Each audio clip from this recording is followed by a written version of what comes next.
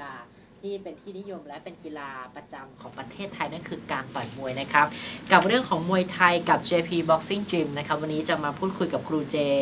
คุณนัทพงศ์จิตพินิษนะครับ เป็นเจ้าของยิมและก็ผู้บริหารรวมถึงคุณวราพรเรืองทุวกุลนะครับ ผู้บริหารด้วยเหมือนกันนะครับ ที่จะมาพูดคุยกันเกี่ยวกับกีฬาต่อยมวยที่กำลังได้รับความนิยมในจังหวัดของเราณตอนนี้ ขอสวัสดีสวัสดีคุณครูทั้งสองสวัสดีท่านค่ะนะครับเดี๋ยวเราจะไปเรียนด้วยกันไปจริจังบางคนบอกเราไม่ได้เรียนต่อยเป็นอาชีพนะเราถูกเอาไว้ป้องกันตัวเองครับแล้วก็จะได้ลดความอ้วนไปในตัว อันนี้จุดสำคัญนะครับเอออะก่อนอื่นนะครับ เดี๋ยวมาทำความรู้จักกับทั้งสองท่านก่อนครับนะครับ เริ่มจากครูเจมีความเป็นมาอย่างไรบ้างในการจัดตั้งยิมในครั้งนี้ครับ ก็จริง ๆ ผมผมก็ชอบกีฬามวยไทยตั้งแต่เด็ก แล้วก็จังหวะช่วงโตขึ้นมาก็มีมีโอกาสได้ไปแข่งขันมวย แล้วก็พอกลับมาอยู่ที่ที่เนี่ยอ่าเราก็อยากจะสนับสนุนหรืออนุรักษ์เรื่องของมวยไทยเอาไว้ เราก็เลยคิดว่าเราจะเปิด คล้ายๆถึงเป็นโรงเรียน หรือเป็นยิมที่ฝึกสอนให้กับอ่าเยาวชนคนทั่วไปที่เขาสนใจที่จะมาเรียนมวยไทยที่ไม่ได้เน้นเรื่องของการขึ้นเวทีต่อยจริงอะไรอย่างนี้ แล้วก็ให้เขามาออกกำลังกายอะไรอย่างเงี้ยครับเราก็เลยทำ JP Boxing ขึ้นมา ตอนนี้ได้การตอบรับเป็นยังไงบ้างคะการตอบรับจชวก็พิษณุโลถือว่าดีครับ เพราะว่าตอนนี้ก็มีเด็กตั้งแต่ 4 ขวบขึ้นไปที่เข้ามาเรียน แล้วก็ผู้หญิงประมาณ 90%ผู้หญิง เยอะกว่าผู้ชายที่ไปเยเรีอะยนกว่าแล้วต่ำสุดสี่ขวบ4ขวบ เราจะไม่ถามว่าสูงสุดเท่าไหร่นะเออออ่าในเรื่องของการต่อยมวยเนี่ย เรื่องอายุเนี่ยสามารถเรียนได้ตั้งแต่อายุสี่ขวบเลยจนถึงอายุเท่าไหร่ครับ ถ้าไม่ถามคคืนอมาเรียนจริง ๆแบบ50 60ก็ยังยังเคยมีมาเรียนนะอยู่ที่คือเราไม่ได้ไม่ได้ไปเน้นให้เขารุนแรงอะไรมาก เราจะจะแบ่งแยกว่า อ่าอันนี้กลุ่มผู้หญิงเขาเรียนเพื่อออกกำลังกายนะ เราก็จะเน้นเป็นเรื่องของการแบบบริหารร่างกาย เด็กเรียนเพื่ออนุรักษ์แม่ไม้มวยไทยเราก็จะฝึกสอนแต่พื้นฐาน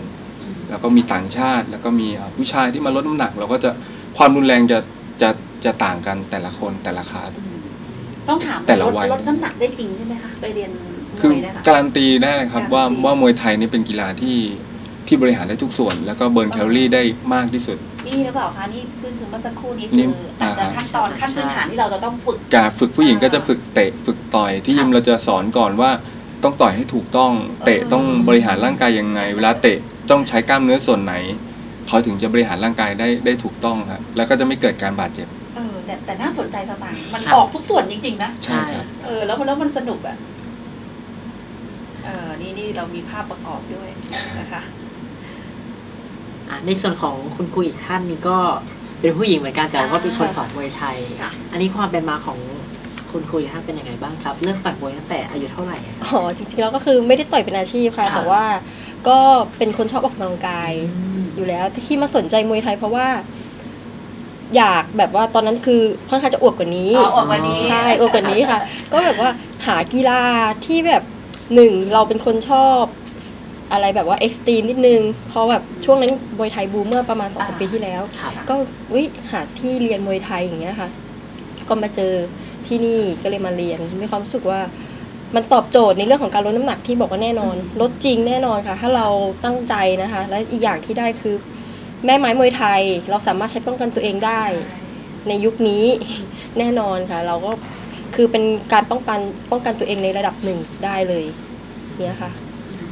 ก็แต่ว่าจะไม่ได้ต่อยเป็นอาชีพนะคะเออเป็นตัวแทนของผู้หญิงใช่เห็นแล้วแบบสวยหน้าตาสวยไม่น่าจะแบบต่อยมวยเป็นอะไรครัปบระมาณนั้นมันมันถือว่าเราเป็นการป้องกันตัวเองด้วยแล้วก็ลดน้ำหนักไปในตัว ทีนี้ประโยชน์ของการต่อยมวยบอกนิดนึงว่ามีประโยชน์อะไรบ้างนะคะคร่าวๆนิดนึงค่ะ ก็ประโยชน์นะคะหลักๆเลยคือได้เลยคือกล้ามเนื้อเรากระชับแน่เอนออนกล้ามเนื้อแต่ต้องบอกก่อนนะคะผู้หญิงผู้หญิงส่วนใหญ่คือจะกลัวกลัวจะกลัวนะคะแบบว่าเฮ้ยต่อยมวย แล้วแบบแขนจะใหญ่ขาจะใหญ่ไหมอ๋อออย่างเงี้ย คือปอยการันตีตรงนี้เลยนะคะ ว่าไม่ใหญ่แน่นอนอืมคือมันจะทำให้เรากระชับกล้ามเนื้อไขมันส่วนเกินอย่างท้องแขนอะไรอย่างเงี้ยค่ะจะไม่หย่อนไม่หย่อน จะไม่หย่อนแน่นอนก็คือจะกระชับขึ้นนะคะเออครับกล้ามขาอะไรอย่างเงี้ยคือมันไม่ได้แบบจะจะเป็นมามัดนะไม่เป็นมัดนะจะไม่มาเป็นน่องไม่เหมือนผู้ชายแน่นอน คือมันก็กระจักชับขึ้นหน้าขาหน้าท้องอย่างเงี้ยเอวเอวที่บอกว่ามันได้จากจากส่วนไหนของมวยไทยหนูอ่าบอกเลยว่าได้จากการเตะ และต้องเป็นการเตะที่ถูกวิธีด้วย คือที่นี่เขาก็จะสอนว่าเตะยังไงให้เอวคลอดอ๋อบิดยังไงใช่เตะครับเอวคอดไม่ได้เตะก็จะฝึกมั่วเราจะสอนให้ฝึกไม่เตะมั่วการเก่งหน้าท้องในการออกๆอ๋อออกแม่ไม้มวยไทยทุกส่วนออกออกระยะอ่าต้องต้องคอนโทรลกล้ามเนื้อให้ถูกต้องโอ้มันจะทำให้เราแบบทรงตัวได้ดี แล้วก็ออกอาวุธได้ถูก เราจะเล่นกีฬานี้ได้สนุก และจะไม่เกิดการบาดเจ็บ เราจะดูแลอย่างใกล้ชิดบก มันต้องใช้สมาธิด้วยเนาะพี่อ่าใช่ครับค่ะฝึกสมีมาประธิโยชน์ไปต่อในตัวต่อเด็กมาก เพราะว่าครับเด็กที่ที่มาเรียนคือเราจะต้องฝึกสมาธิเขาคือเขาต้องมีเขามีสมาธิคอนเซนเทรตกับสิ่งที่เราให้เขาทำอันนี้เราจะแบ่งเป็นฐาน อันนี้ออกหมัดที่ถูกต้องนะ แล้วเด็กน้องก็ต้องขยับมาอ่าพื้นฐานเรื่องการเตะ การเข่าการสอบสุดท้ายก็เอามารวมกันเด็กต้องเขาจะพัฒนาความจำของเขาที่ดี เดี๋ยวขอถามแทนคนที่ไปเสริมจมูกมานะคะบางคนอาจจะแบบ วิฉันอยากจะต่อยมวยแต่ฉันไปกลัวดั้ทำจงมูกมามันจะมีปัญหาอะไรไหมอะไรเงี้ยไม่มีครับเพราะเรามีไหมคะมันไม่มีการกระทบกระทั่งกัน ตอบแทนได้เลยอ๋อเหรอคะล้วแต่หนูไม่ได้ทำไม่ได้ทำคุณปอยไม่ได้เราไม่ทำแต่ที่ว่าตอบแทนที่ได้ยิมเราจะไม่มีการต่อยกันไม่มีอะไรคือออ่าคนที่มาเรียนจะเข้าเป้า พอพอออฝึกพื้นฐานได้ระดับหนึ่งแล้ว ก็จะมาเข้าเป้ากับครูฝึกครับ และครูฝึกจะฝึกกันตัวต่อตัว อ๋อ คือหลายคนเห็นภาพนู้นใช่เผื่อไม่ใช่ต่อยกันเองอ่าอะไรไม่ใช่อย่างนั้นครับเราจะไม่ไม่เราจะไม่ให้ลูกค้าต่อยกันเองค่ะอย่างนั้นต้องมวยอาชีพอ๋อครับครับผม เพราะฉะนั้นแล้วก็คือจับคู่ระหว่างครูฝึกฝึกกับคนเรียน เพราะฉะนั้นแล้วไม่ต้องกลัวนะครับ ใครที่ทำจมูก หรือว่าใครที่ทำศัลยกรรมบอกครูเขาก่อนเลยว่า อยากจะหลีกเลี่ยงอะไรเนาะค่ะต่างเชื่อว่าครูปอยและครูเจเนี่ยน่าจะจัดให้ได้อยู่แล้ว แต่ในเรื่องของกีฬามวยไทยเนี่ย ขึ้นชื่อคือมวยไทย เราได้มีการสอดแทรกวัฒนธรรมไทยอะไรไปกับกีฬาชนิดนี้ให้กับนักเรียนบ้างครับครูคืออ่าเด็กที่เข้ามาเรียนอย่างอย่างตอนนี้ใกล้ปิดเทอมผมก็ครับจะเปิดคอร์สค่ะอาจจะเป็นคอร์สเด็กเข้าแคมป์ฝึกมวยตั้งแต่วันที่ 12 มีนาถึง 12 เมษาเด็กที่เข้ามาเรียนคือหนึ่งคือเขาต้องเรียนอ่าพื้นฐานแม่ไม้มวยไทยหมัดเท้าเข่าศอกอืมแล้วก็เรียนเรื่องประวัติศาสตร์มวยไทย เราจะมีการอบรมให้ความรู้เขา เรื่องแม่ไม้มวยไทยเป็นมายังไงลำไหว้ครูเพื่ออะไร ครับและลำไหว้ครูมีกี่ท่าแม่ไม้มวยไทยท่าลุกท่ารับมีกี่ท่าเป็นการอนุรักษ์ศิลปะแม่ไม้มวยไทยของเราไว้ด้วยส่วนหนึ่ง ถือว่ามวยไทยเนี่ยยากง่ายกว่ากีฬาชนิดอื่นไหมคะคือความยากง่ายกีฬาทุกอย่างมีความยากง่ายของตัวเองหมด มวยไทยไม่ได้ยากเลยทุกคนสามารถเรียนได้ ทุกคนสามารถทำได้หมดครับไปเราตั้ง คือหรอเพียงแต่ว่าเมื่อก่อนมวยไทยอาจจะอยู่ไกลตัวพวกเราไปนิดใช่นึงใช่เพราะว่าจะจะเรียนมวยต้องไปค่ายมวย ค่ายมวยคือภาพนั้นคือเขาต้องฝึกซ้อมเพื่อขึ้นเวทีครับเอ้เราจะไปเรียนยังไง มันดูเออใช่ค่ะ ไกลตัวมาก แต่ตอนนี้ใช่ค่ะคือผมเปิดยิมเพื่อให้มวยไทยเข้ามาใกล้พวกเรามากขึ้น ส่งลูกหลานมาเรียนกันอะไรได้สบายปลอดแล้วภัยก็เผื่อในอนาคตถ้ามีแววก็สามารถจะไป อ่ามันต่อยอดได้ครับ เป็นอาชีพได้เลย ต่อยอดตอนนี้นักมวยไทยเงินเดือนเยอะสูงมาก เนาะ ใช่ นี่เราเราฝึกแบบนี้ด้วยใช่ไหมคะ นี่ไงสตังค์โโหอ่านี่การเป็นมัได้การทุฝึกส่นความจริคล่องๆะส่วนคล่องตัวครับโอ้โหฝึกกล้ามเนื้ออันนี้ก็จะใช้ฝึกเด็กด้วย อันนี้สำหรับฝึกผู้หญิงก็จะฝึกการเตะก่อน อันนี้เป็นต่างชาติเขาจะมาเรียนเพื่อเป็นนักมวยอาชีพอ๋อ แล้วก็สอนแบ่งแยกไปอืมครับ ก็คือมันก็แล้วแต่เลเวลในการออกกำลังกายหรือใช่ในครับการต่อยใช่ ของแต่ละคนเนาะครับความอันนี้ต้งการผู้หญิงแบบออกกำลังกายเพื่อลดน้ำหนัก เนี่ยโอ้โหเราก็จัดครูฝึกให้ อันนี้ปล่อย เอาครูปอยกับครูนี่ไงเจถึงนะคที่รัถึบ งบอกว่ากลัวจะโดนจมูกสำหรับคนที่อันนี้ทำจคือมูกเขาต้องนี่ยฝึกเรียนมาสักพักนะครับอ๋ออันนี้คือระดับแอดวานซ์ต้องฝึกครูกับครูไงภาพที่เห็นใช่ครับก็ฝึกให้นักเรียนอ่าทำให้นักเรียนดูว่า ว่าว่าเราสามารถป้องกันตัวได้ยังไง นี่พอเห็นภาพอย่างนี้แล้วอยากไปเรียนนะสตางค์เอาเลยพี่จะตามสอานับยุสจะนุนมากครัขึ้นบแล้วก็เรียนได้เนาะคือเราเรียนแล้วเราได้ได้ได้ทุกส่วนไงมันครัลบดน้ำหนักได้จริงๆนะเนี่ยครับ อืมแล้วสนุกด้วยมีเพื่อน อย่างอย่างครูปอยเป็นผู้หญิงเนี่ยเรามีการเตรียมตัวอย่างไรบ้างก่อนที่จะเรียนมวยไทย เพราะว่าค่อนข้างหนักจากจากผู้ชายนะค่ะครับ ก็การเตรียมตัวอันดับแรกนะคะเตรียมใจ เตรียมใจก่อนเหรอเตรียมใจด้วยใช่ไหมครับ เตรียมใจก่อนว่าเราเอาละเราอยากเรียนมวยไทยแน่นอน คือจริงๆเราไม่ต้องเตรียมอะไรเลยค่ะหนึ่งเตรียมความพร้อมของร่างกายครับ แค่นั้นเลยเราขอให้ให้มีใจที่แบบรักในกีฬานี้จริง ๆ แล้วเราจะสนุกไปกับมันให้เขาเปิดใจก่อน ค่ะ มาเปิดใจให้มาเรียนว่า มันไม่มีอะไรยากไม่มีอะไรน่ากลัว ไม่มีอะไรน่ากลัวจริง บางคนจะติดภาพหุยต่อยกันเอสอัดนั่เลืนอดสิแตกอะไรอย่างเงี้ยจริงกลัวเสียโฉมๆจริง ๆ แล้วมวยไทยไม่ใช่ขนาดนั้นค่ะครับในในในส่วนของการเรียนนะคะ ก็จะเรียนแค่ออกกำลังกาย อยากให้คุณผู้ชมเราภาพการแข่งขันมวยกับค่ะการเรียนมวยเนี่ยมันคนละเรื่องกันใช่เพราะฉะนั้นแล้วความปลอดภัยเนี่ย confirm ได้ร้อยเปอร์เซ็นต์นะครับผมนอกจากนี้แล้วนะครับ คุณครูเปิดสอนเนี่ยค่าเรียนเท่าไหร่คุณผู้ชมอยากรู้อ่าใช่หลังจากฟังมานานแล้ว ตอนนี้คืออ่า สำหรับเด็กเราก็มีคอร์สรายเดือน ค่ะ แค่พันห้าร้อยบาท อ๋อต่อเดือน มาได้ทุกวันได้ทุกวันวันหนึ่งเราเรียนกี่ชั่วโมงคะ วันละชั่วโมงครึ่งครับ วันละหนึ่งชั่วโมงครึ่งมาก็ได้ไม่มาก็ได้แล้วแต่คุณจะมาแล้วแต่จะสะดวกคือถ้าใครมาครบเป็นเดืก็อนได้สิทธิ์นั้นไปเลยคุ้มใช่ครับเนาะ พันห้าพันห้าส่วนผู้ใหญ่ก็ วันห้าสิบบาทสองพันห้าร้อยบาท 2,500 บาท ใช่ครับ ผู้ใหญ่ก็สองพันห้าร้อยบาทมาได้ทุกวัน โอ้โหไม่แพวังนน่าจะราคาเท่ากับเด็กๆเนี่ยเขาว่าผู้ใหญ่กับเด็กเนี่ยอายุแบ่งเส้นตรงเออเท่าไหร่ครับ เด็กก็คือตั้งแต่สี่ขวบขึ้นไปถึงสิบห้าปีครับ อ๋อเลยเลยสตางค์เลยโอ้จะเข้าข่ายเด็กจะเข้าข่ายเด็ก แล้วแล้วเราก็ผู้ใหญ่คือก็คือไม่ limit เลยแต่อายุ ไม่ limit 15 ปีขึ้นไป ใช่ครับสองพันห้าร้อยบาท น่าเรียนมากคุณผู้ชมครับ สถานที่ตั้งของโรงยิมครับ ค่ะสถานที่นะคะก็ ขับมาทางเส้นกองบิน 46 นะครัคะบเลยร้านอาหารครัวมาประมาณ 200 เมตร ให้สังเกตขวามือไว้นะคะ จะเจอร้านอาหารวันวันคาเฟ่อ๋อคือยิมจะอยู่บนชั้น 2 ของร้านอาหารวันวันคาเฟ่ค่ะ มีที่จอดรถสะดวกครับสบายค่ะรองรองรับรองรับนักมวยได้กี่คนคะ ก็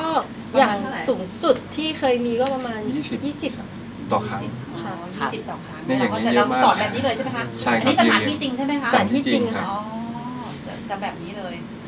โรงยิมเปิดสอนตั้งแต่กี่โมงถึงกี่โมงครัอายิมเปิดตั้งแต่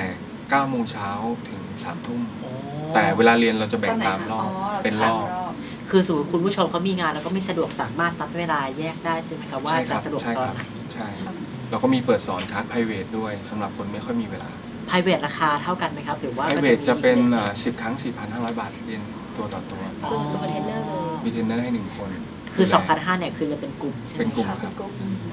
นอกจากมวยแล้วมีสอนอย่างอื่นไหมคะ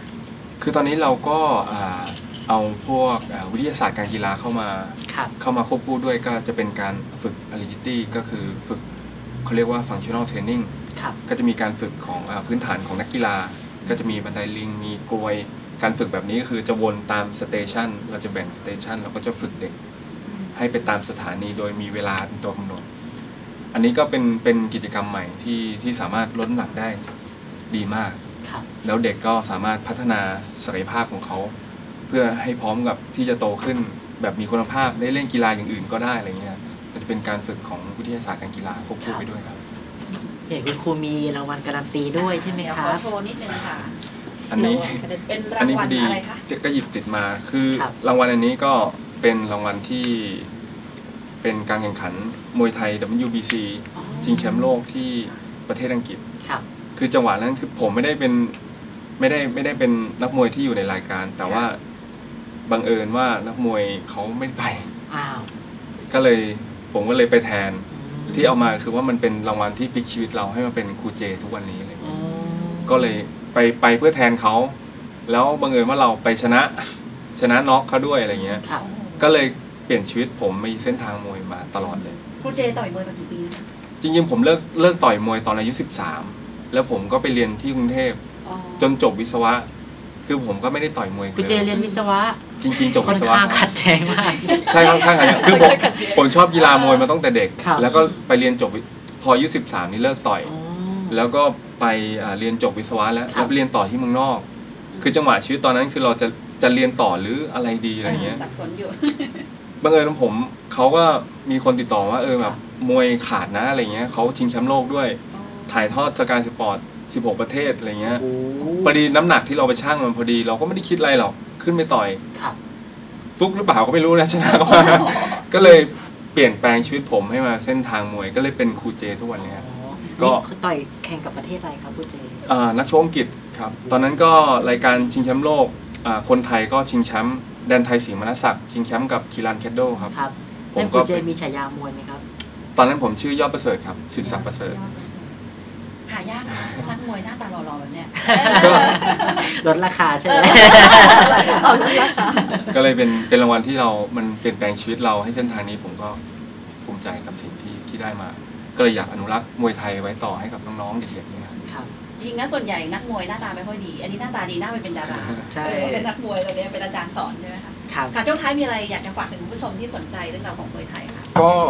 ก็เลยอยากจะฝากเชิญชวนอ่าพ่อแม่พี่น้องปู่ย่าตายายที่ดูรายการอยู่นะคครัรับบว่าเอ่อลองลองเปลี่ยนทัศนคติเกี่ยวกับเรื่องมวยไทยใหม่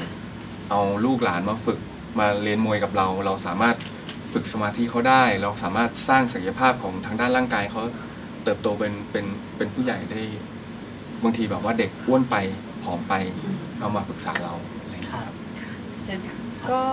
อยากฝากนะคะสำหรับ ผู้หญิงนะคะที่กำลังมองหากีฬาที่อยากลดน้ำหนักนะคะปอยการันตีนะคะว่ามวยไทยช่วยคุณได้แน่นอนนะคะ แล้วก็ไม่ต้องกลัวว่าทำจมูกมาอย่างนี้นะคะรับประกันค่ะว่าไม่เกิดการบาดเจ็บต่อร่างกายแน่นอนนะคะ อยากฝากไว้นะคะ อย่างหนึ่งก็เป็นศิลปะป้องกันตัวของเราด้วยนะคะ ครับท้ายนี้อยากให้ทิ้งช่องทางการติดต่อเบอร์โทรหรือว่า Facebook ครับ ค่ะก็ติดต่อมาได้ที่เบอร์โทรนะคะ มี 2 เบอร์โทรนะคะ 0616869889 นะคะ แล้วก็อีกเบอร์หนึงนะคะ 0824048849 นะคะ หรือจะเข้าไปในอ่าแฟนเพจ Facebook ก็ได้นะคะ พิมพ์ว่า JP Boxing Gym ค่ะ แล้วก็จะขึ้น อ่า ที่หนึ่งช่องทางนะคะวันนี้ขอบคุณนะคะ คุณนัทพงศ์จิตพินิจค่ะเจ้าของยิมและผู้บริหารรวมไปถึงคุณวราพรเรืองทุวกุลนะคะผู้บริหารนะคะขอบคุณมากเลยค่ะขอบคุณขอบคุณค่ะครับอย่างที่เราเคยบอกไปนะครับคุณผู้ชมสุขภาพดีไม่มีขายอยากได้ต้องทำเองนะครับเพราะฉะนั้นแล้วอย่ารอช้าถ้าหากสนใจก็สามารถติดต่อได้ตามช่องทางดังกล่าวนะครับ วันนี้หมดเวลาของรายการสองพยายามเช้าแล้ว เราทั้งหมดต้องลาไปก่อนสวัสดีคสรับวัสดีค่ะสวัสดีสวัสค่ะดีครับ